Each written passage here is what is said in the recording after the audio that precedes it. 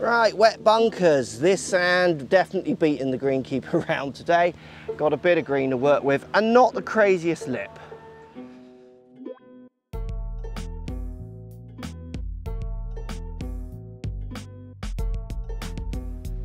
So first port of call, it's gonna come out quite low and quite quick.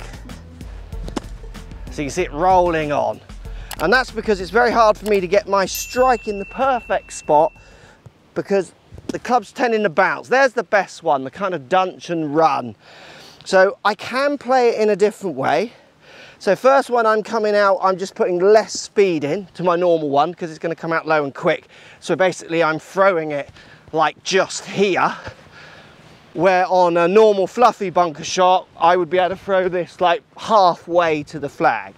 Now if I do want a bit of speed and a bit of height I'm just gonna have to brave with very open face try and put some speed in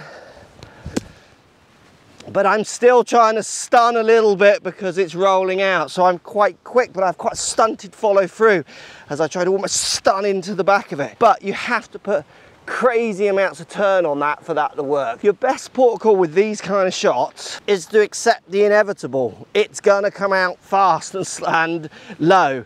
So you're gonna need to not put too much crazy speed unless you're confident to do the real fast one that I showed you at the end.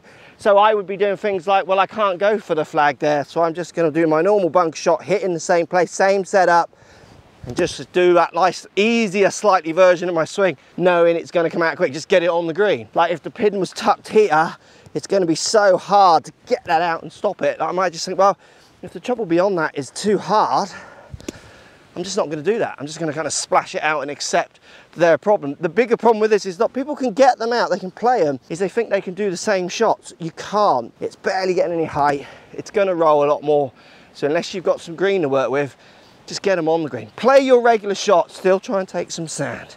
Still try and use the back of the club. Do all the things you do in your bunker. Just accept they're horrible. Maybe move to a warmer country. That's what I'm contemplating.